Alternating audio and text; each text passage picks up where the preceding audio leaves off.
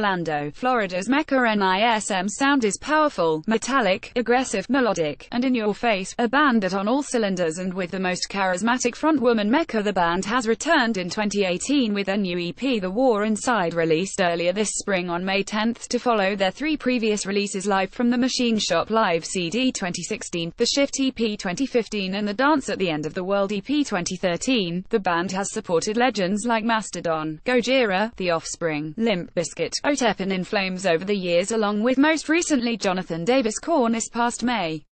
The band's new EP The War Inside stands for the ability to face your inner demons, conquer your internal battles, and to help realize that you can change your life for the better.